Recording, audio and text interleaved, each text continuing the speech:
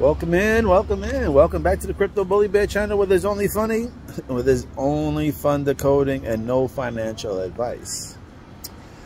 Um, I was doing videos back in the days about the Stellar wallet. I guess it's called Lobster wallet. Now, I see a few comments when I went back and a lot of people are asking me how I feel about it, whatnot, and the third. I stopped doing videos on it because I couldn't determine what was a fake asset, what was a real asset. Um, I just wasn't that swift on figuring out, you know, what was what. So I spent what I spent on there and I just left it as like a lottery ticket, just lingering in the air, basically. I bought what I bought and, um, and that's it. So that's that for the wallet. But I did a video on this particular asset because I seen that it was fluctuating and it was called Q Silver, Quick Silver, or yeah, Q Silver. And it was funny enough, I, I don't know what video it was. If you go back, you might see it. But I remember doing the video and I remember getting like pieces of mail. I picked up a bunch of mail. I had like four or five pieces of mail from this place called Quicksilver. I think I had an old credit card that said it was a bunch of shit that was just pointing to it. So whatever, long story short, I seen this one asset jumping up and down called Quicksilver. At the time, I was spending like $10, and for every $10 I was spending, I was getting back, I think it was like a billion to whatever it was. Every For every $10, the fluctuation was for the $10 I spent, it was coming back at like a 100 grand. So, and again, I told people, I don't know if it's a true asset or not, but I will tell you that this is jumping very aggressively up and down. I don't know. I must have I must did that video probably last year or earlier in the year, this year or later last year. I just find it funny now that, and again, it's weird because if you go look at the lobster wallet, if you have one, some of the assets have little triangles. Excuse me, some of the assets have little triangles next to them. Um, and I guess they're warning you that it's a fake or whatever, a scam asset. But I have two assets that I bought. One of them was called Quicksilver. The other one was called the Guardian Project. And both of them have been steadily on the flip side. So I told you they were fluctuating, but they're all showing a higher price. So for instance, and again, I don't know about the lobster wallet. I don't know if I'm going to be able to spend or not. I'm, I'm going to have to actually maybe get a little bit more into research and, and ask a little bit more questions about this wallet and see if anybody feels um, how people feel about the wallet because I really don't know. I mean, I've seen a few things, and again, I only go by what I feel. All right, and I know a few things, but I try to take a few things from what I see, and I try to put common sense together. So, but again, I don't know if it's gonna hold or not. But I remember I spent 50 bucks and I threw it at this Quicksilver because again, I work on fields and I had all these Q silvers. And this one asset is staying up there. I my 50 bucks is actually holding on, showing like five, six hundred thousand.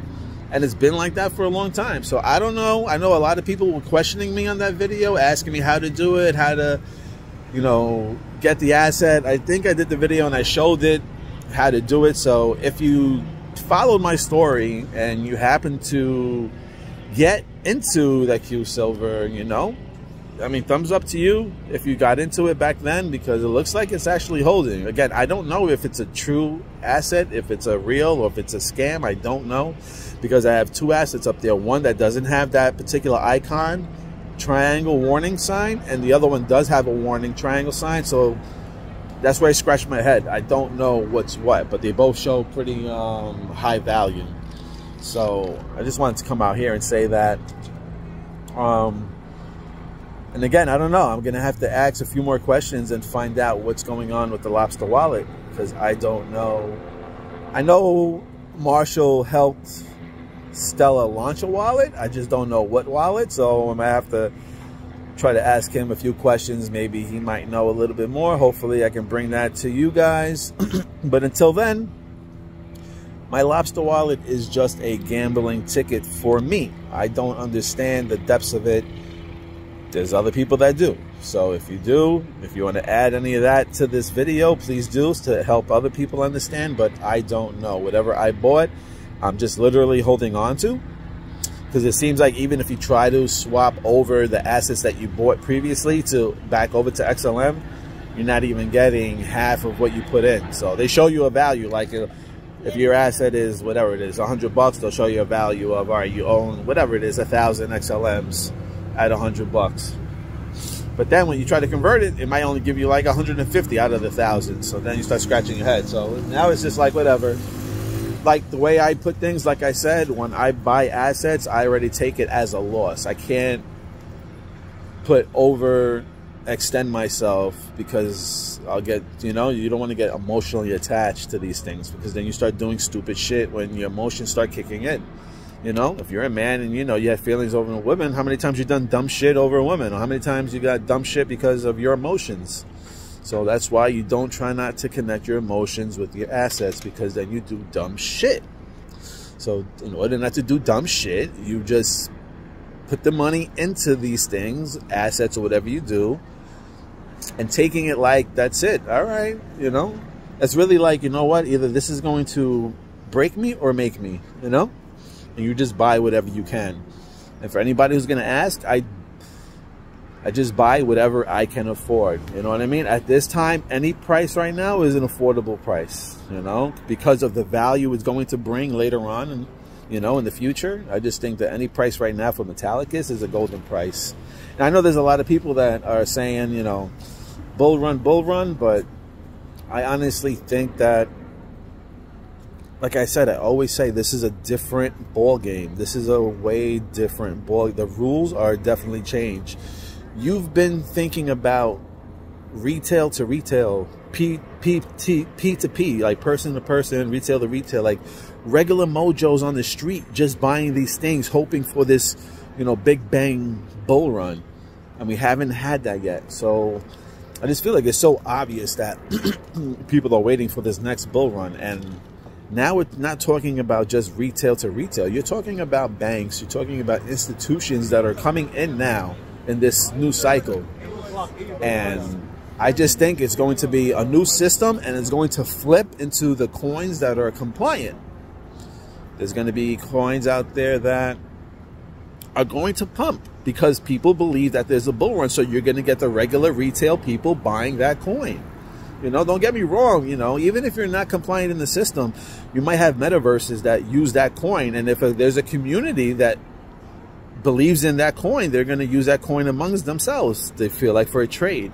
So, you know, don't get me wrong where I, you know, you just might not be able to buy everyday things. Like if you want to go on a plane, if you want to go buy food or something like that, maybe you might not be able to use those coins for that. I think that's what Proton is for because I believe that's what the new currency is going to be. So if you wanted to buy like hard assets, houses and stuff like that, I'm not saying I'm definitely correct. I'm just saying I feel like Proton is the type of coin you need that's compliant. Anything that's compliant.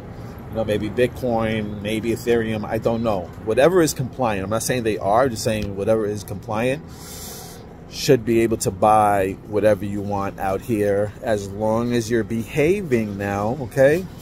There's a thing called Pop Score. If you're in the WebAuth wallet, there's a thing called Pop Score, and I believe it's your social credit score. So, again, got to be careful what you say because, you know, everything is definitely being recorded and stuff like that. And if you don't, you know, stay in your lane, you may get a ticket. That's all I'm to say. So, um, just be mindful for that, you know. And, um, you know, if you listen to Crypto Ricky, you know, he basically had a good system. You can either at this point beat him or join him, you know. And it seems like Metallicus is going to be part of the system. And you can not be part of the system and get forced into the system later, right? And then they'll be controlling, you know, basically what you have at that time. Or you can believe in yourself and jump into the system now without getting forced and having your own choices. So it's either you get in early and choose for yourself or you wait and then get forced in later and they will choose for you. So you can take that information and do what you want with it. I'm not saying to buy, sell, I'm not saying to do anything. I'm just giving my own personal information and from what I heard and just passing off some information that I think might be helpful for you. You know, so Crypto Rick also, you know, listen to Crypto Rick. He's got a YouTube channel. I think it's called Crypto Current. Um, go give him a follow. Go give him a listen, and um, you know he'll speak to you on you know other things that might interest you. So anyway, just wanted to talk about a few things. Just babbling over here. Um, yeah. So big ups to anybody who got into Quicksilver or that particular token that I said because it looks like it is holding up. It looks like it is holding up. I'm not going to say how much I have on that wallet, but it's nice to see one of my wallets, you know, with a little bump. So anyway, thank you for liking, watching, subscribing. That's really about it. And again, and again, what are people are going to think when they figure out that this symbol has been on their heads the entire time? Remember the company is called New Era, okay? A new era. We are going into a new system, a new era. This is why I believe so strongly like the Matrix is a big part of this whole shit because it's like everything is put. There's no way that everybody is with the program, like in on it. You know what I mean? It's like people are just programmed to just do these things or influenced just to do this or put it like this or say it like this. It's just new era hats. We're going into a new era. I showed you the P symbol, okay? They have a Roman Empire exhibit. Go to the exhibit. You will see this symbol I showed you. Look closely. You will see this symbol. You will see the wheel. Why do you think they are talking about asking people now if you if you think about the Roman Empire? Because this is the time. You're going back into time. Okay. Matter of fact, I think there's um on Thanksgiving. I said in my other video on Thanksgiving, I think is going to be a big explosion with the market, is because um that day also is a time machine day. Something about Doc Who, something like that. Doc Who Day. And they talk about time machines, and Elon is working on a uh, time machine. So, again, 23, Jordan, slam dunk, first pump. I really like the 23rd. The the 18th, that's tomorrow. 18th is tomorrow. We see what happens tomorrow. We had a slight little pump, but again, these are just like little semi, you know, you're talking about like dropping zeros. Those are the pumps that we're talking about. Dropping zeros. Getting rid of the decimal. That's what we're looking to do. To get rid of the decimal and at least put one single digit that's not a zero in front of that dollar sign. Or I should say right after the dollar sign. Not in front, but right after the dollar sign. Should be a dollar sign and at least one. And if I'm to guess, and I'm just guessing, okay? Seven is my number. Five to seven dollars is my number. All right? The seven is their number, so again, not financial advice. I'm just going, I'm telling a story. And that's what it's going to be. I have to see that by the 13th or the 14th of January. I have to see it. I have to see all these zeros being erased. Not by code, by what I see, but what I feel. It's not financial advice. And if it doesn't happen, don't lose your panties. Don't lose your panties. Saying what I feel. I really feel that Thanksgiving, we should see a nice little pump, a nice little price gap. If we don't, we don't. But I'm just showing you the dates just line up perfectly. And I had said this before. If there's always flipping, you know, it started on the Tuesday, right? 2001, that big event in September started on the Tuesday. I think we end on the Thursday. Anyway, that's what it is. See you later. Goodbye.